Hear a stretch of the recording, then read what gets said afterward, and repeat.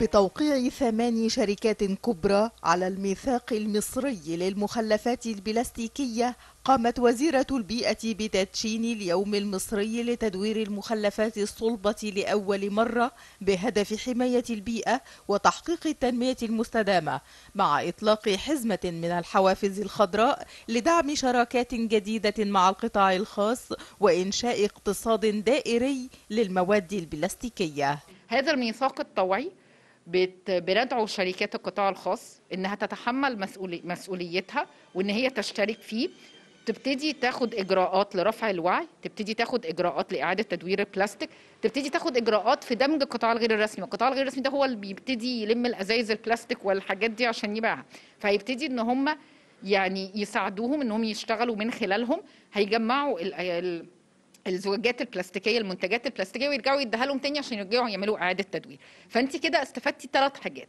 أول حاجة قللتي من كمية البلاستيك اللي ممكن يكون موجود في البلد وبيتحرق وموجود في المقالب. اتنين شغلتي القطاع الغير الرسمي ودمجتيه في المنظومة. ثلاثة مكنتي شركات القطاع الخاص إن هم يتحملوا المسؤولية بتاعتهم الممتدة للمنتج. أربعة ابتديتي إن أنت تدي رسالة قوية جدا في العالم.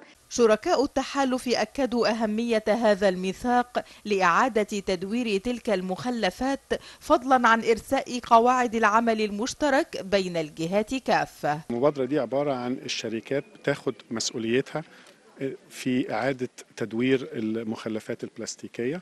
آه، وعملنا بحث الأول على إزاي إن إحنا نزود كمية البلاستيك اللي بيعاد تدويره. في طبعا كمية بيعاد تدويرها دلوقتي إحنا عايزين نزود الكمية دي. أهميتها إن إحنا هنبدأ ناخد خطوات جادة في حل مشكلة البلاستيك.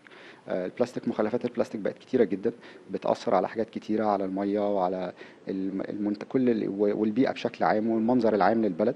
فده هيساعد الشركات إنها تتحالف مع بعض ويبقى في مشروعات مشتركة ما بينهم. الميثاق اللي اللي اتفقنا عليه ده هو إحنا بنوحد الجهود بتاعتنا كلنا كشركات مع وزارة البيئة عشان كلنا نبقى على زي ما بيقولوا كده على صفحة واحدة نفس الصفحة من الكتاب فاحنا كلنا متفقين على الطريق آه، اللي هنتحرك فيه. وبرضه يبقى في التزام من الشركات إنها تمشي على الميثاق ده أول ما يتعمل. اليوم المصري لتدوير المخلفات البلاستيكية يعد انطلاقة جديدة لشراكة حقيقية من أجل الحفاظ على صحة الإنسان وبيئة خالية من المخلفات بحلول عام 2025